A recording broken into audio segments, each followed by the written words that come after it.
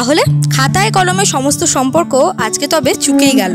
কি বলো? আমরাই সেই অভাগা ব্যাচ যাদের ইউনিভার্সিটি লাইফটা ছিল মাত্র সাত মাসের। ইউনিভার্সিটি যাওয়া আর আসার পথে পার্ক স্ট্রিটের এই ব্রিজটা আমাদের দুজনেরই বড্ড প্রিয় ছিল। অলরেডি লেট তার উপর আবার এসব ফর্মালিটি উফ, কতই না বিরক্ত লাগতো তখন। অথচ আজ এই নিয়মটাও বড্ড মিষ্টি লাগল। কেন বলো তো? এতদিন ইচ্ছে করেই সার্টিফিকেট নিতে ডিলে করছিলাম। ওই আর যে কটা দিন সম্পর্ক টিকিয়ে রাখা যায় আর কি। ইউনিভার্সিটি লাইফের ত্রাসের রুম ছাড়িয়ে যখন প্রিয় স্যারের ঘরের সামনে গেলাম এবং ঘরটা তালা বন্ধ থেকে মনটা বড্ড খারাপ হয়ে গেল। ফাঁকা করিডোর পেরিয়ে ক্লাসরুম ফাঁকা দেখে মনটা যেন আরও বেশি ভারাক্রান্ত। আর এটা হচ্ছে আমাদের সবার পছন্দের জায়গা ইলেভেন্থ ফ্লোর যেখান থেকে প্রথমবার ভবানীপুর সিমিট্রি ভিউ দেখে গায়ে কাটা দিয়েছিল। স্যার ম্যামদের কঠিন কঠিন ক্লাসের মাঝে ক্যান্টিনে কাটানো চল্লিশটা মিনিট ছিল আমাদের কাছে খোলা হওয়ার মতো। আজ একটা কথা অকপটে স্বীকার করছি, একদা তোমাকে বাস ছাড় বলে প্রচুর খিল্লি করেছি।